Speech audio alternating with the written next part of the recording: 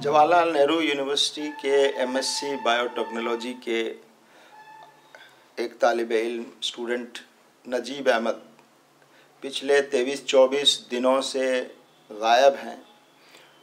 और जैसा कि ख़बरें आ रही हैं कि गायब होने से एक दिन पहले उनका जे में एबीवीपी के कुछ स्टूडेंट्स और वर्कर्स के साथ उनका कुछ झगड़ा हुआ।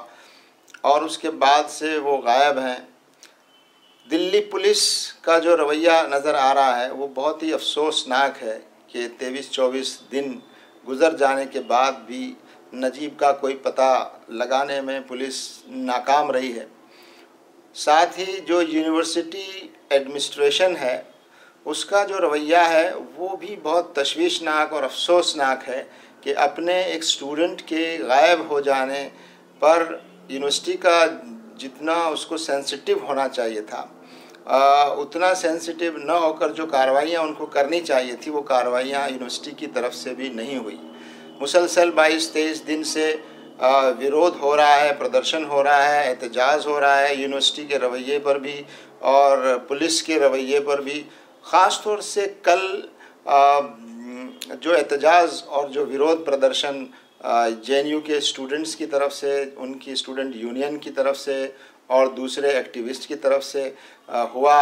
और उसमें नजीब अहमद की रिश्तेदार, उनके करीबी रिलेटिव्स और उनकी माँ उस प्रदर्शन में, उस विरोध प्रदर्शन में शरीक होने के लिए गई। तो उनके साथ पुलिस ने जिस तरह का सलूक किया, वो बहुत ही अफसोसनाक है कि उनको ज़बरदस्ती उठाकर जो है वो गाड़ी में ले जाया गया और उनको पूरे शहर में घुमाते रहे।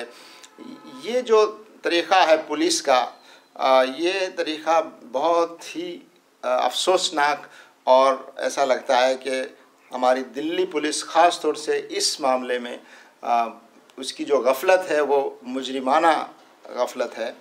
और हम उम्मीद करते हैं कि पुलिस इस सिलसिले में अपना रोल अदा करेगी और नजीब को ढूँढने में और उसके साथ जो कुछ हुआ है उन लोगों को सज़ा देने में पुलिस कोई जो है, सुस्ती नहीं बरतेगी, कोई ढिलाई नहीं बरतेगी और किसी तरह की पॉलिटिकल और राजनीतिक दबाव में और प्रेशर में काम नहीं करेगी, ऐसी हम उम्मीद करते हैं।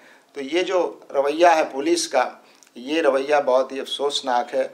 हम उम्मीद करते हैं कि पुलिस अपने रवैये पर की असलाह करे और उसको ठीक करे और नजीब को ढूँढने में अपना रोल और अपनी ज़िम्मेदारी को अदा करे।